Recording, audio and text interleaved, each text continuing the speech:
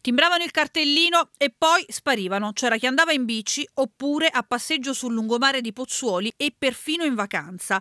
Nuova operazione contro i cosiddetti furbetti del cartellino, stavolta accade nell'area Flegrea a Pozzuoli.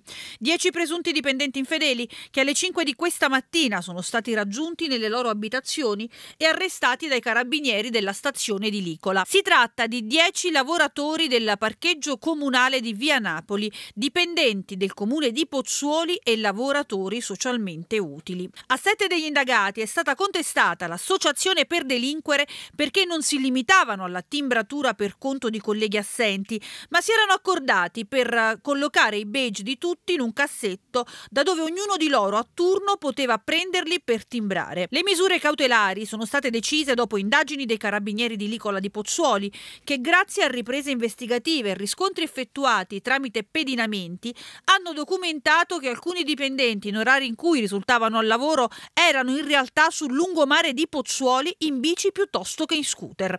Insomma, tutto refertato con video e foto che mostrano quanto facevano i dipendenti invece di essere sul proprio posto di lavoro. Svaghi e passeggiate, commissioni relax invece di lavorare. La Procura Generale presso la Corte dei Conti avvierà gli accertamenti per stimare il danno erariale e procedere ovviamente al recupero di quanto i dipendenti infedeli avrebbero con il loro comportamento sottratto allo Stato. Poi toccherà all'amministrazione procedere per eventuali sospensioni dal posto di lavoro. Il rischio ovviamente è il licenziamento.